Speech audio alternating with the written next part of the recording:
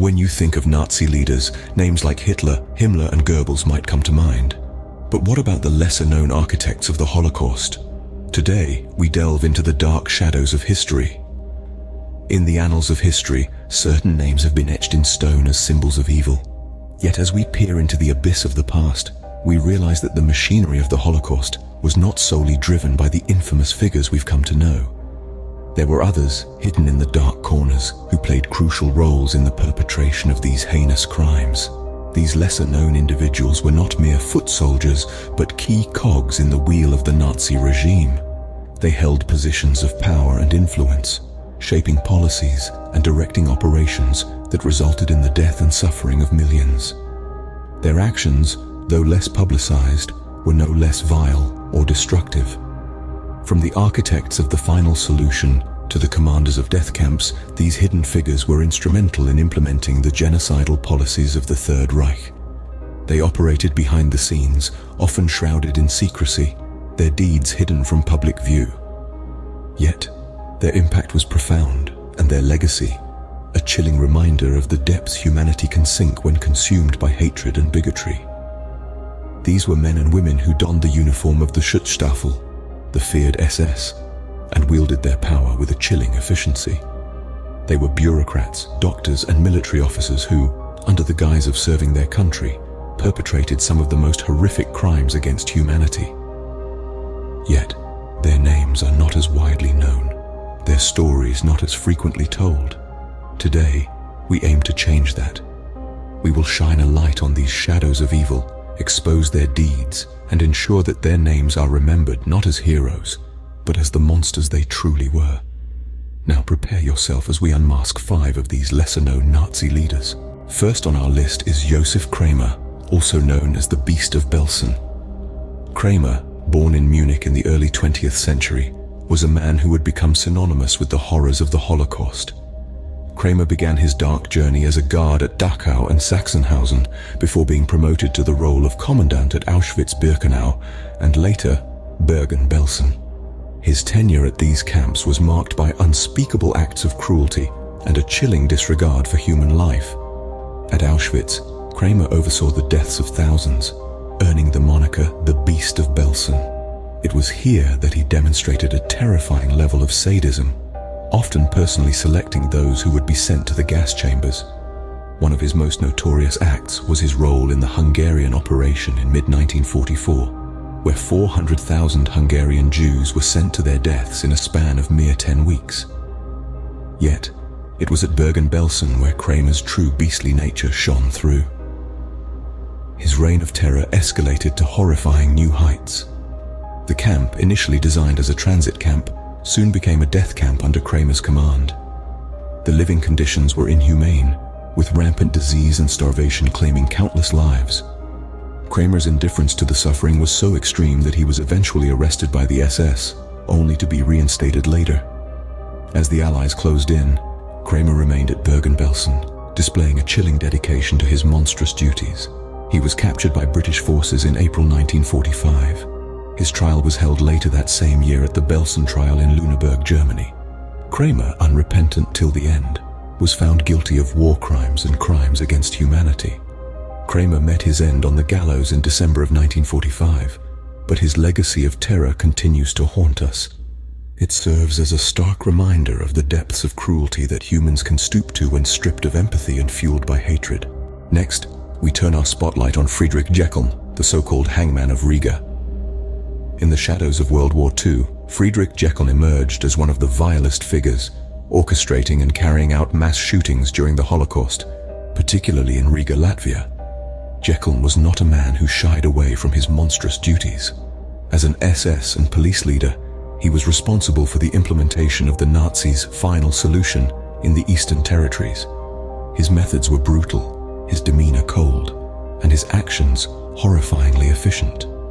Under his command, tens of thousands of innocent lives were extinguished, their only crime being the religion they practiced or the ethnicity they belonged to. Imagine someone so ruthless that he developed a shooting technique known as sardine packing.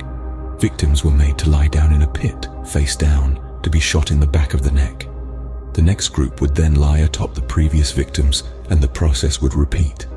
It was a chilling assembly line of death, designed for maximum efficiency. But what about justice? Did Jeckeln never face the consequences of his actions? The answer is yes. Friedrich Jeckeln was captured by the Red Army at the end of the war. His trial painted a stark picture of his inhuman deeds, leading to his conviction. The hangman's noose, which had once been his tool of terror, ultimately served as his own executioner. He was hanged in February of 1946, a fate he had once doled out so carelessly to others. Jeckeln may have escaped public memory, but his victims never escaped his deadly grasp. His story serves as a stark reminder of the depths of human depravity and the importance of standing against such inhumanity. This is the legacy of Friedrich Jeckeln, one of history's vilest figures hidden in the shadows of Nazi terror. Our third leader is Irma Grese, dubbed the hyena of Auschwitz. Born to a troubled family in 1923, Irma Grese found herself drawn to the radical ideologies of the Nazi Party at a young age. She volunteered for the SS and was quickly assigned to work at the infamous Auschwitz-Birkenau death camp. Grese was no ordinary guard. She relished in the power she wielded over the inmates. Her sadistic practices earned her a notorious reputation among both her colleagues and the prisoners. Stories of her cruelty spread far and wide, painting a chilling portrait of a woman who derived pleasure from the suffering of others. She was known to select prisoners for the gas chambers and was said to carry a whip, which she used mercilessly on prisoners. She also had a pair of heavy boots, and it was said that the sound of her footsteps alone was enough to spread fear among the inmates. It wasn't just physical torture that she was known for.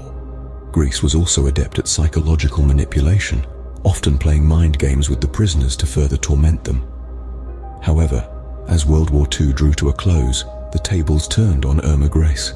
She was captured by the British forces and brought to trial during the Belsen Trials, a series of military tribunals held by the Allied forces to prosecute war criminals. The evidence against her was overwhelming, and she was found guilty of crimes against humanity. At the age of only 22, Irma Grese was executed in December of 1945. Her end was as cold and swift as the terror she had inflicted on countless innocent lives. Grese's reign of terror ended abruptly, but the scars she left behind remain. She serves as a stark reminder of the depths to which humanity can sink when blinded by hatred and power. As we delve deeper into the shadows of history, we are confronted with the horrifying reality of the atrocities committed during this dark period reminding us of the importance of remembering and learning from the past. Last but not least, we have Aribert Heim, known as the Angel of Death. Aribert Heim was a doctor, but far from the kind of doctor you'd want to see when you're feeling under the weather. He served at the Mauthausen concentration camp, where he committed unspeakable atrocities under the guise of medical experiments. His practices were so brutal, they earned him the chilling moniker of Dr. Death. Heim's experiments were not for the faint of heart. They ranged from injecting various substances into the hearts of his victims to performing surgery without anesthesia and removing organs just to see how long the human body could survive.